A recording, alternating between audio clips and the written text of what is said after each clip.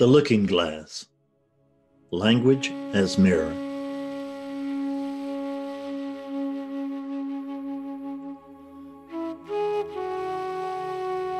Notice that you're already awake. Right now, this moment, the only reason you can read these words is that you're already awake. You're already awake. You're as awake as it gets. You're already fully awake.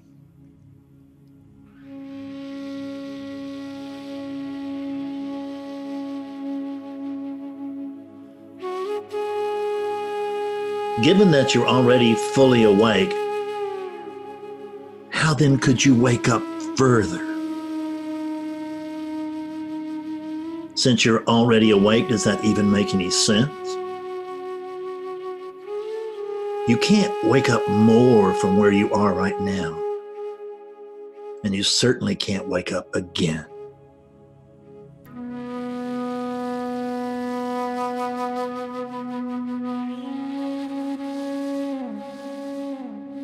Since you're already awake, does that idea even make sense? You can't wake up more from where you are right now.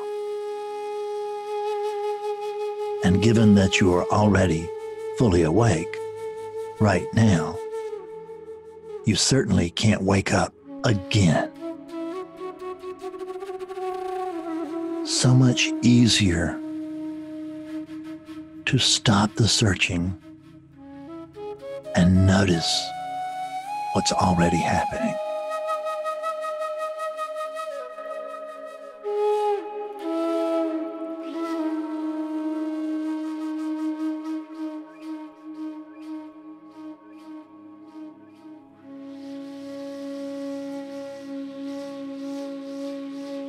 If you want to read a book through that body you're wearing, or watch a video, or send that body to a retreat for further clarity, so to speak,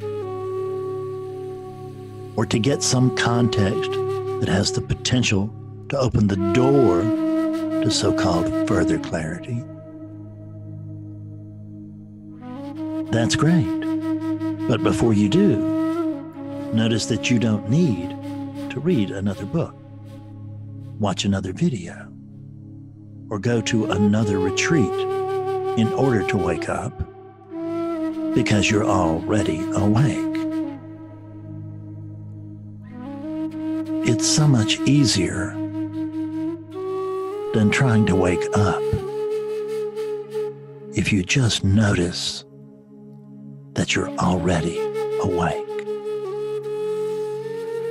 If you want to do meditation, drum, dance, chant, or what have you, for the sake of grounding yourself in that present human experience you believe you're having, or calming that unit's mind so that you can better hear yourself talk to yourself and better watch yourself dance for yourself.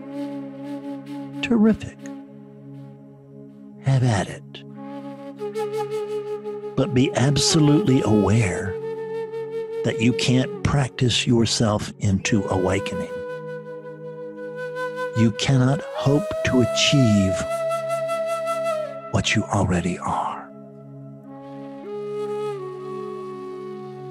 So much easier to give up trying to wake up and notice that you're already awake. You're just not who you think you are. That's the only issue here. You're undergoing a case of mistaken identity. And all you need today is a little light reflected from this peculiar mirror, this mirror of clear language that is also you. There is only you. But you tend to get a bit cloudy sometimes and forget that.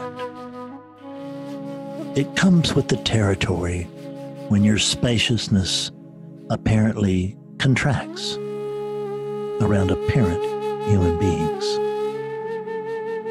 And it's no big deal. It's fine. When you're ready to be clear, you find a bright mirror. So here you are, back in front of the vanity mirror that is also you.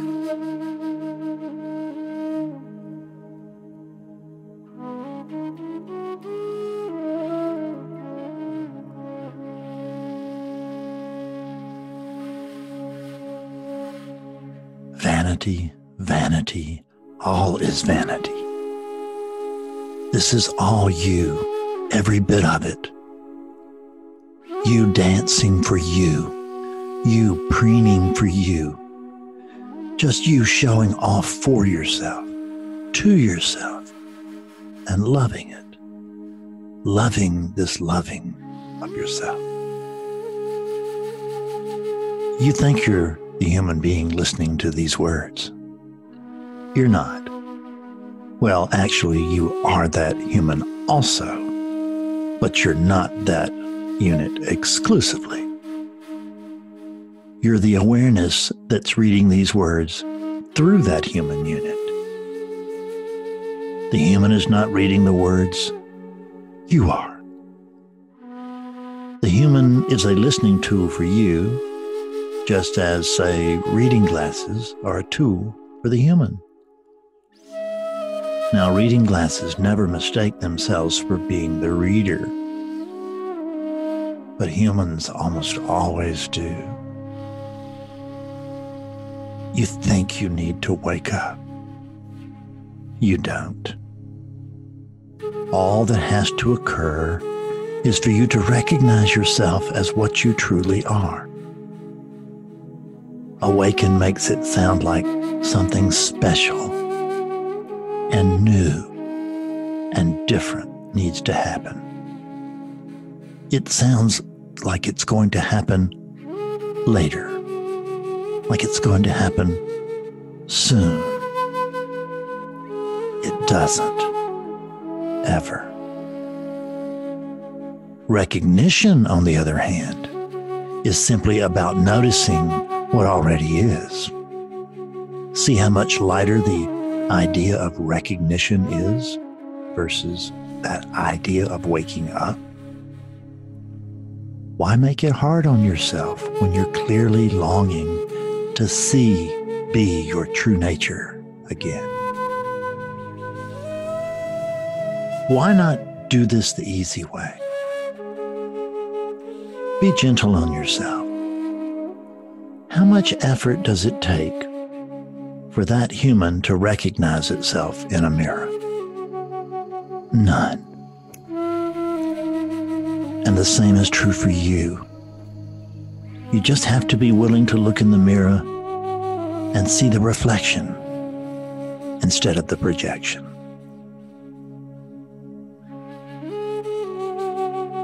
Stop seeking outwardly for just a few minutes. After all, you have all the timelessness in the world. Reverse your attention. Take your plain old attention, what feels like your personal attention, and turn it around. Look back instead of out. Notice how easy it is to move your attention whenever and wherever you want to move it. Notice how whatever tension binds tends to expand. See how easy it is for you to pull globalized awareness, meaning the background, unfocused awareness that is always running, and reform it into localized awareness, which we know as attention. What's the one thing attention never pays any attention to?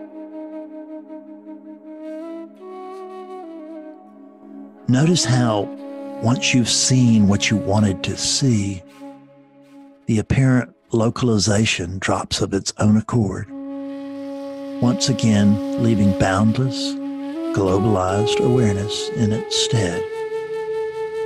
You zoom in, you zoom out, yet you never move. It just happens. You don't have to do a thing. All of this is working for you. It's always here, always running, and certainly it's always awake. It has to be. It's you. And you are the one thing going on. There are no parts to you, no pieces to you. There is only the wholeness of you. And this is that wholeness. Look around. This is it. It's not something else. It's not something other. It's not somewhere else. It's not over there. It's here. It's now. It's this. It's this ordinary this. When seen from the eyes of oneness,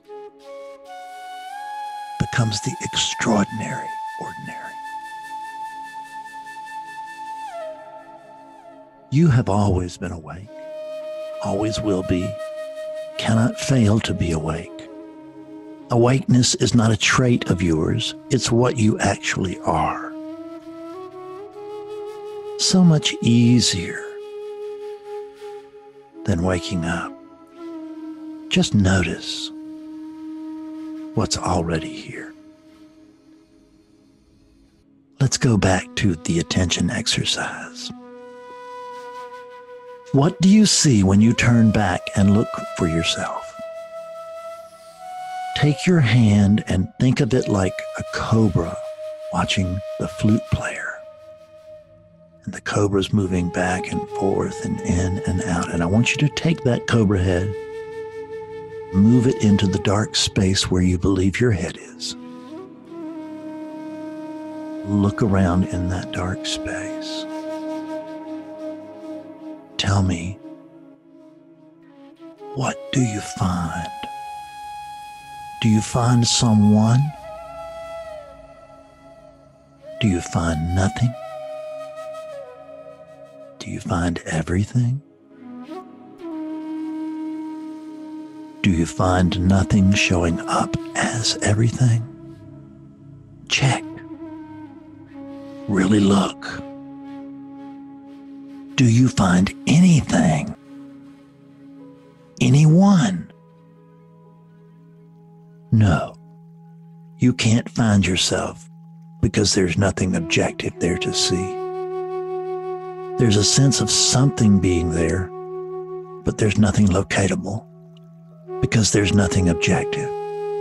But clearly, there is something there, and it's absolutely alive. You can feel that, can you not? Of course you can. Isn't there almost a stirring, perhaps a tingling, a certain presence, perhaps behind your eyes, in your chest, or around your head? It's unfindable and it's undefinable, but it's there always. You can feel it if you let yourself. Now, let yourself.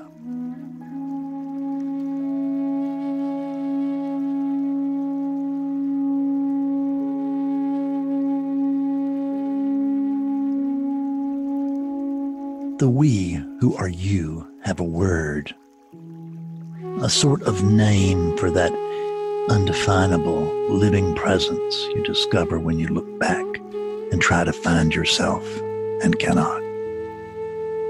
We can't call it something, but neither is it nothing. Hence, we have arrived at no thing. But no thing sounds like a noun, and it's not.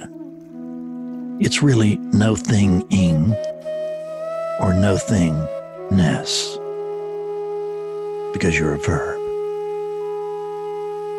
But we'll stick with no thing just for this. This no thing, this pure subjectivity, this keen awareness that's looking out through the eyes of that human you're wearing is what you really are. You have been on an endless search for something unfindable. It ends when you end it, and not before. So much easier to simply notice that you're awake rather than to try to wake something up.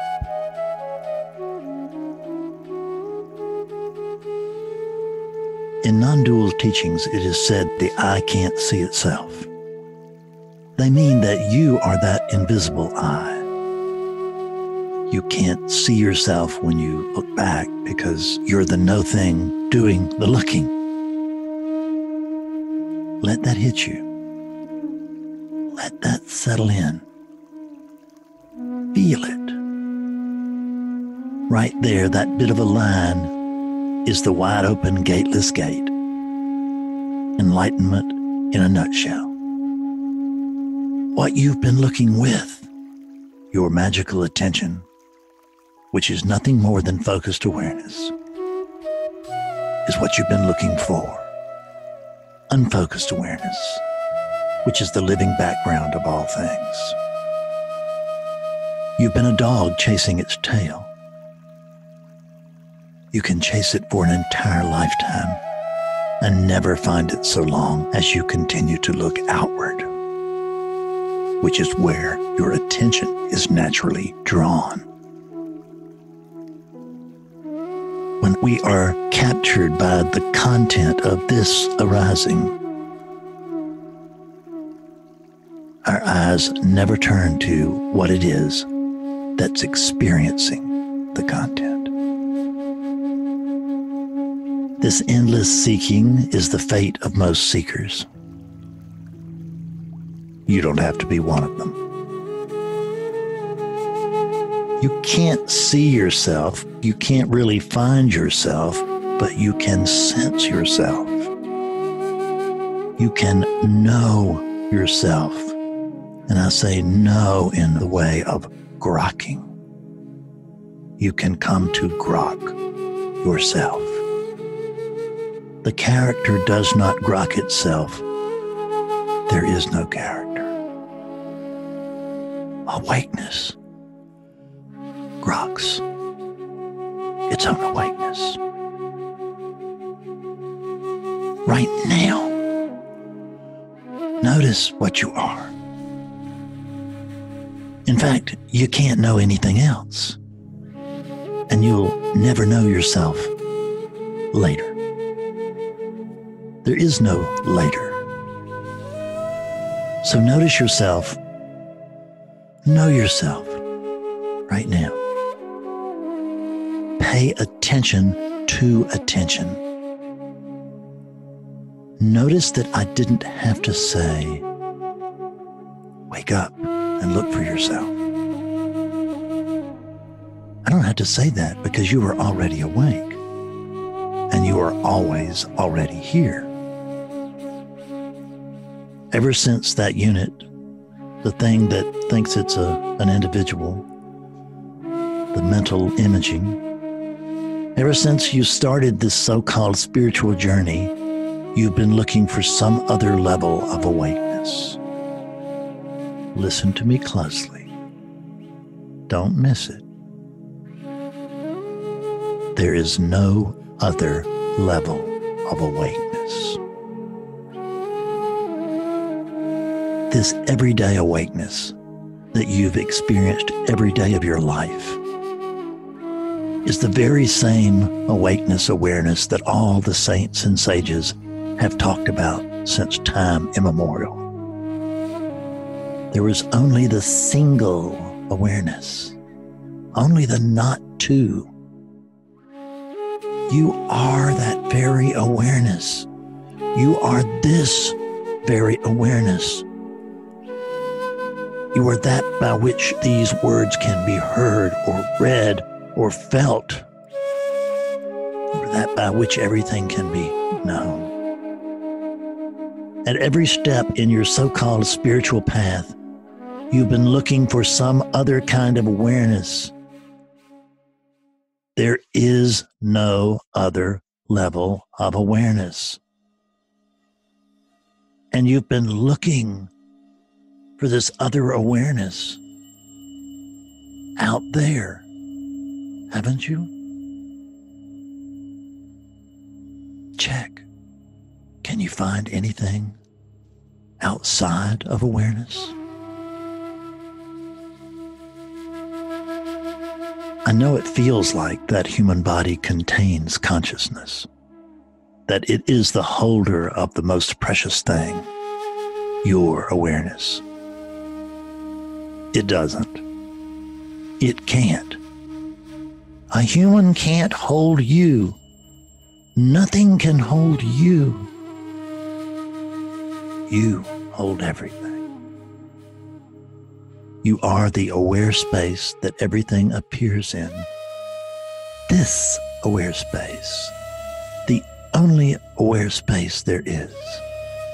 You permeate all humans, all sentient beings, and all insentient beings, every one of them inside and out. You've hitherto thought there is actually something called your consciousness. There isn't. Pay close attention here. You are, quote, your consciousness, unquote. And you are simultaneously everyone's, quote, personal consciousness, unquote. I say this lightly, almost laughingly, because there is no personal consciousness. Consciousness is not something you have, it's what you are. Nothing can take that from you, not even death. When the human body dies, you just change channels. Your focused attention goes elsewhere within your unfocused awareness. There's nowhere else for it to go. You dial up in another dream. It's always movie night for you. Let's look at the notion that awareness or consciousness is something you have. It's quite a convincing story that you've set up for yourself there. Shut those eyes for just a minute. If you're interested in having that long sought after spiritual awakening that that particular human has been going on and on and on about for damn near forever, that it's driven itself crazy over, then don't just read this. Do it. Read this all the way through. Then close your eyes relax that body, and go through the exercise.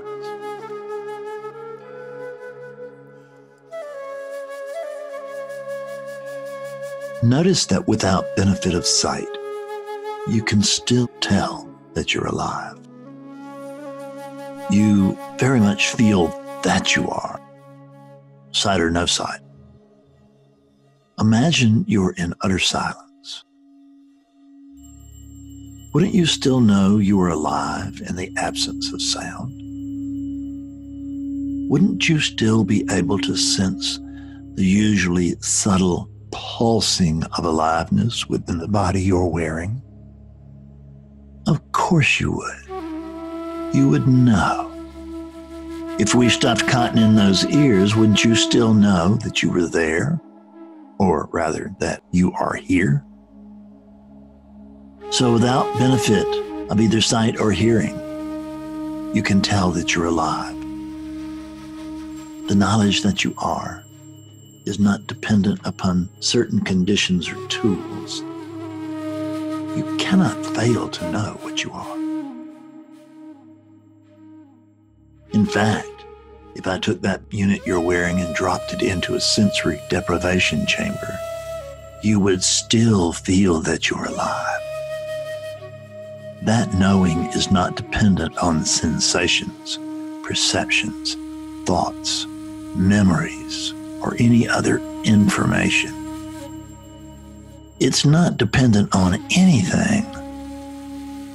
In fact, everything is dependent on it. That knowing is primary. It's the only thing for which there is no opposite. Can you imagine not knowing yourself? No, you cannot. That knowing has no opposite. Thus, it's unimaginable. It cannot not be. Knowing would have to be present in order to report that it doesn't know itself. The question collapses. That knowing is the one true no thing. But that knowing is really knowingness, is it not? You are not a static knowing. You are not some kind of grand noun. You are beyond nounness, beyond persons, places, or things. All these years you've been looking for some sort of vague but grand object so that you could experience yourself. But you cannot experience what you already are. You are beyond verbness, too, however. Verbness is in a display that is constantly shifting, morphing, changing from one extreme to the other and back again, evolving and devolving, forward and back, is always arising to you to that which does not move, but is not static. You arise to yourself. We who are also you vaguely call that verbness the world, which expands or contracts to suit your purposes. You zoom in, you zoom out. It might be a thought, a sound, a room, it might be a whole universe. Regardless, whatever arises is not other than you. You are what you know, and what you know, you are. The seeker is the sought. Notice that knowingness. Stop and notice it now become fully conscious of it. Hold it within attention. Be the attention so that you can come to recognize that attention clearly. Feel it. In the absence of that knowingness, there is no world. In the presence of that knowingness, the world arises fully formed. You don't have to do a thing just happens. Notice that the knowledge doesn't need to wake up. In fact, cannot wake up. It's always already awake. See that it's the knowingness that's come to know itself. We call this knowingness knowing itself conscious awareness versus unconscious awareness which is still awake and alive and aware, but not consciously. Either way, it's still you. One way you're cloudy, one way you're clear, but there's just one thing going on, and that one thing is you. You are already home. You have always been home. There is nothing other than home. Stop seeking now. Notice home now. This, this very this, is it. If you were already home, how would you ever find it by looking for it? You'd always be looking away from it. You find home only when you notice that you already are, always have been, and always will be, because there is nothing other than home. There is nothing other than this. Look. Look for yourself.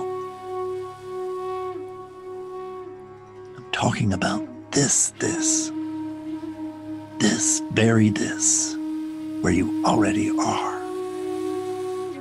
We don't find home by going after it. We find it by stopping within it. Any directions on how to get home inevitably lead you away from home. But they are great for wearing you out, and it's all good fun until it's not. Take a quick inventory. What have you been using all these years in your search for enlightenment? Awareness. What has been reading all the books? Awareness. What has been watching all the videos and listening to the teachers? Awareness. If you meditate, what is it that watches your breath or your thoughts or counts or tries to let go of doing all that? Or gets annoyed because it can't adequately escape the nagging now in order to enjoy some other experience that would, of course, arise and fall within the nagging now. It's awareness. What is it that prays? Awareness. What is it who asks, Who am I? until it wants to scream? Awareness. Awareness has been on a millennia long search for awareness. It's been looking for some other awareness. Hear me. There is no other awareness. This is it. This, this is all there is. Take that in. Don't look for the subtle, notice the obvious.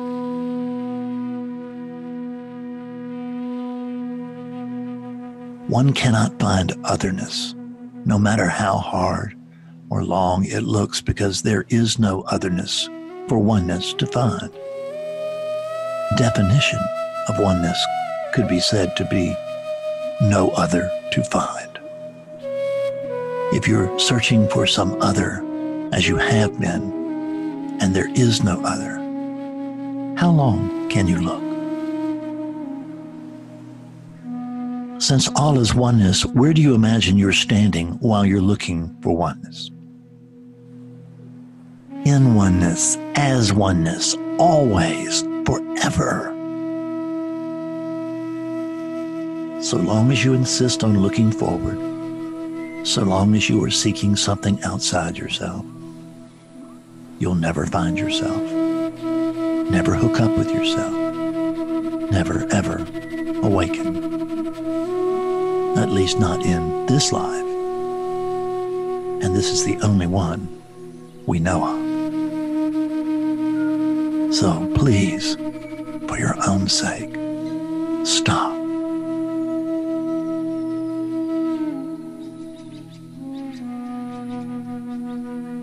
Once you sense what you are, once you take that giant leap into the utterly obvious and recognize what you are, that which is looking, there may or may not be a sharp sense of realization.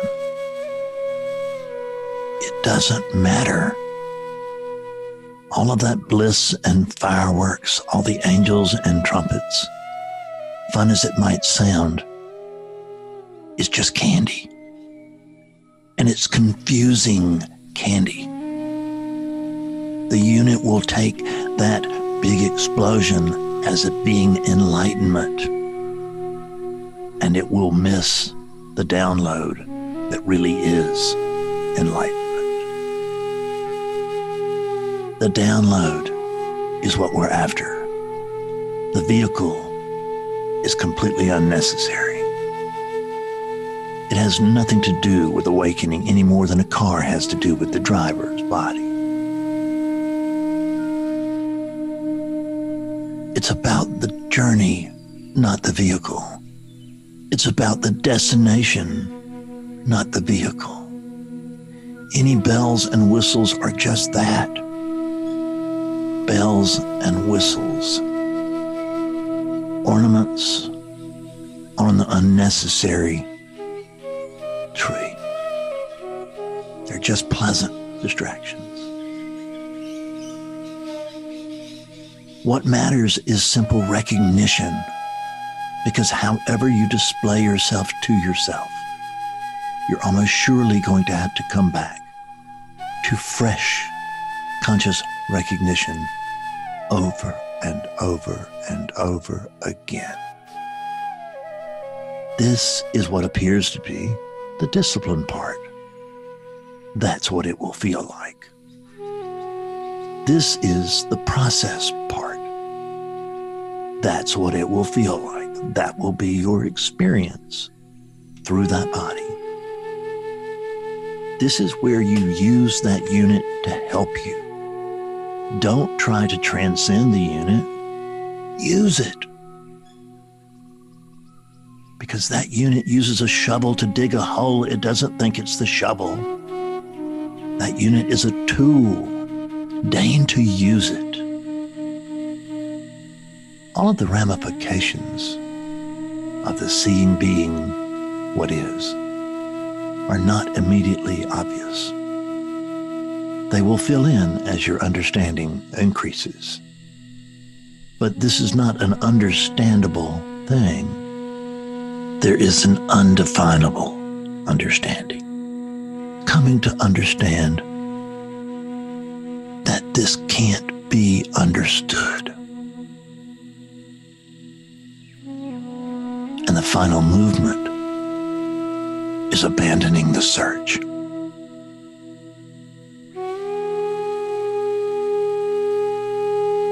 You see what you see when you see it, when you need to see it, and not before. Work with what you have, honor what you have, and more will come. That's how it works.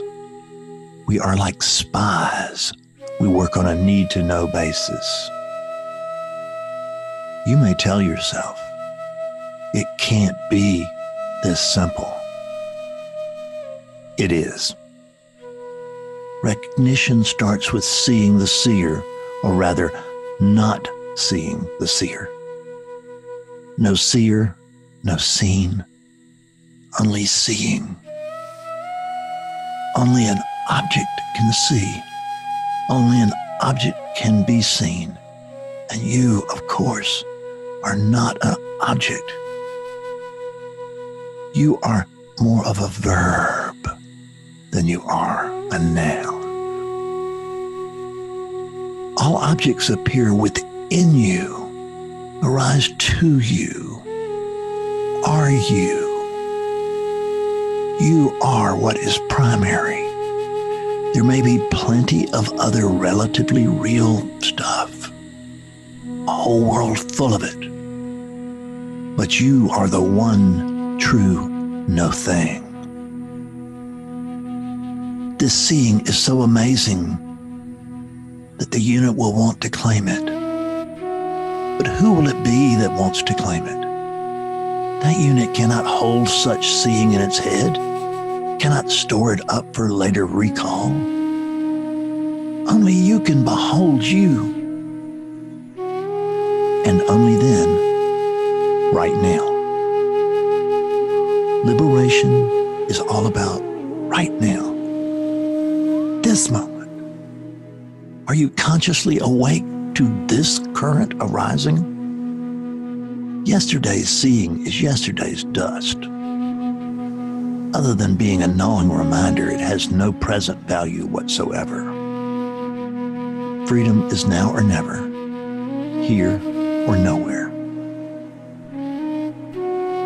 This simple recognition of your true nature is not the end of your apparent spiritual journey, but it can be the end, or at least the beginning of the end, of all this compulsive seeking you've been doing. If you let it. It can be the most important step that you actually never take. Just stop. Don't step. Stop. Look at what's looking. Pay attention to attention. You can overcome this simple seeing if you want to. 99% of humans do. They do it all the time. This is why everyone wants a big, splashy spiritual experience. They think that if they have a big, splashy spiritual experience, an S&M style spiritual experience where they will be tied up and made to see the truth, bearing no responsibility for it, they will not then be able to overcome it with incessant thinking. And that's not true. People overcome it all the time. I can plant the seed, if you don't water and fertilize it, that tree is going to die. People think that just because they got a big, lazy peek at things, that they can stay awake and lazy at the same time. They can't.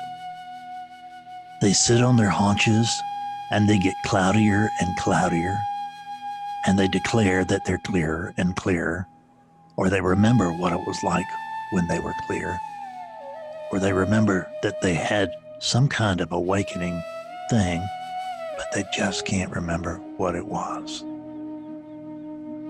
And that's fine too. But it certainly can't be labeled skillful. You don't ever go to sleep. You don't have the capacity for sleep. But you can most certainly delude yourself and appear to go to sleep. You can believe that you are asleep. It's what you do in almost every single unit that you're wearing. You're always awake, but you're not always consciously awake. In fact, you are rarely consciously awake. And because you've been unconsciously awake for thousands of years in that package, meaning the DNA and software conditioning associated with the body you thought you were when you first started reading this, you'll fall right back into unconsciousness if you don't consistently and actively nourish it with constant light. Seek the light or watch it go out. You have to be willing to shine truth, even when you don't feel like yourself, even when you don't want to, on things you'd rather leave in the dark. You must hold nothing back. Willingness is your bridge to being the shining on an ongoing basis. Don't even ask whose willingness is it. Just don't go there. Give yourself to the light fully, or you don't give yourself at all. Don't bother trying to figure any of this all out, or you'll end up right back on the same hamster wheel from which you just hopped off. You don't have to figure anything out. You can't figure anything out. I cannot explain what I don't understand. And I don't even understand what we're talking about. Let the mind live in uncertainty. Let the body do what it does. You do what you do. Just watch a silent alertness. You are not the watcher. You are the watching. You are the light behind alertness. You are the light prior to consciousness. But when you're watching as conscious awareness instead of unconscious awareness, then what you see will change. When I change where I'm looking from, what I'm looking at changes. Look at any human life, and you'll see lots and lots of hopeless, blind patterns, compulsive energy patterns that are just running by themselves with no one at the wheel and no good end in sight.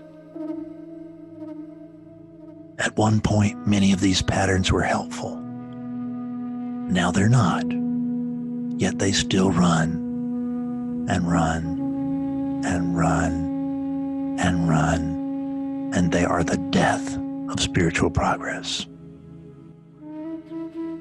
If you look back, you'll see a long trail of unskillful living, a long trail of suffering. If you're willing to really look at the patterns, many of them will start to change. These patterns are very specific, so each one has to be shined on by the light of your conscious awareness in order for it to be remedied, in order for there to be clearing. Awakeness colonizes the body one bit, one seeing, one unconscious pattern at a time. Don't try to fix that unit. You can't anyway. That body is operating on its own. You are not its minder or manager or controller. It's doing what it does until it does something else. Allow it. It will do so regardless. It won't do anything else until it sees that what it's currently doing isn't helpful, isn't skillful, isn't beneficial to the well being of the unit or the world.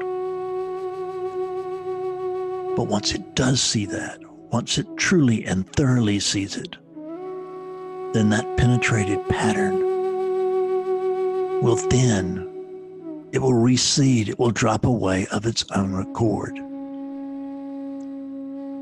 If it's supposed to. We can't know what patterns are genuinely unskillful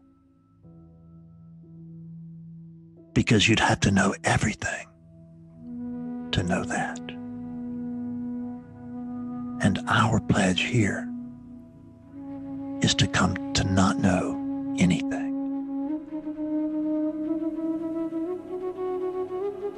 You don't have to do a thing for this clearing. It just happens. Clarity arises.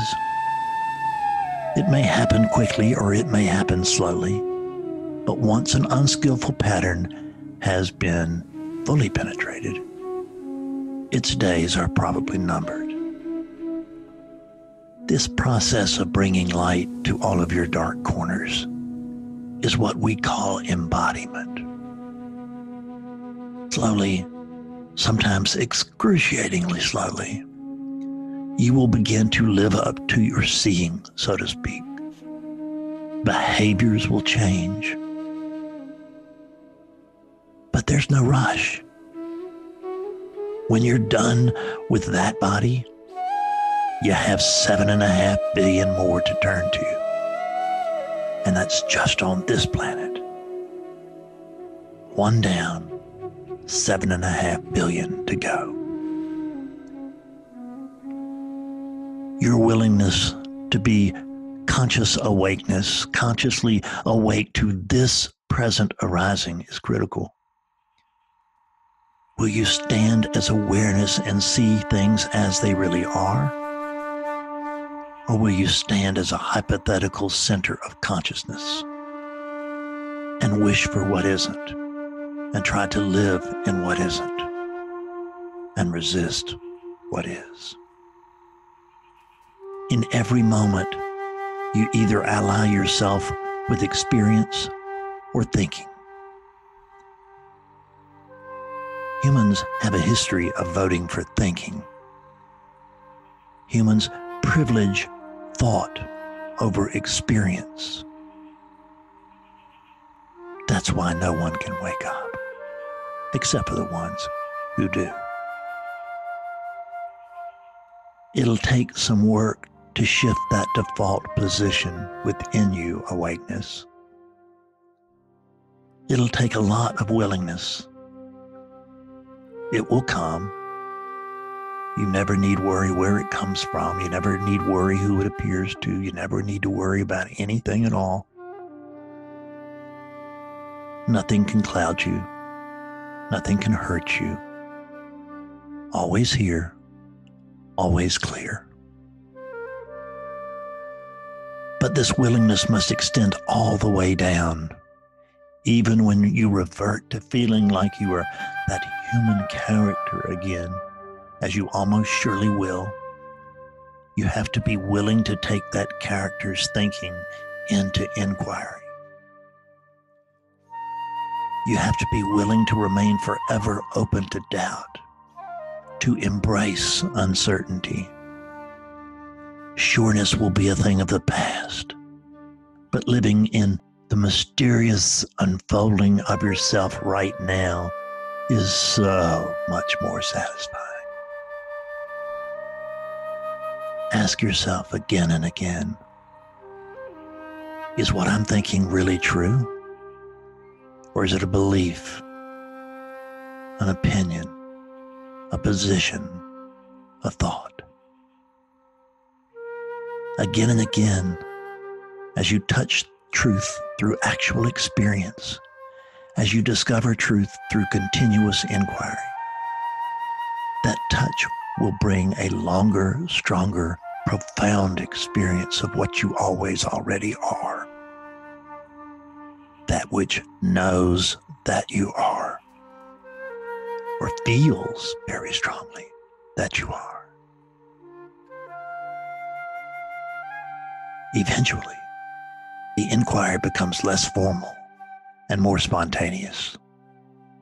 You won't always have to take your thoughts about arisings through a process of formal inquiry. Life itself becomes constant inquiry. Delusion arises, it's questioned, penetrated, and it drops. Pop, pop, pop. Like everything else, you don't have to do a thing. It just happens effortlessly. We could say that it's all for you. We who are also you call this effortless living abidance. We call it abiding enlightenment because you are then consciously living in the awakeness that you know yourself to be and operating within the world as that awakeness. There's no friction as Tao runs through you.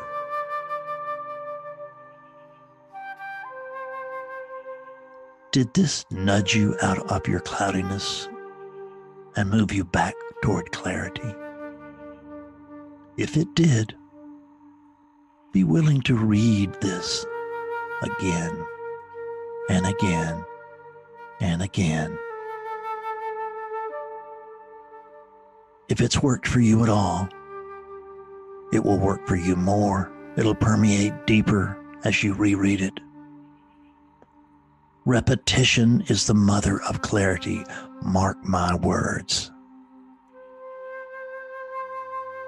Be well. Be wellness itself.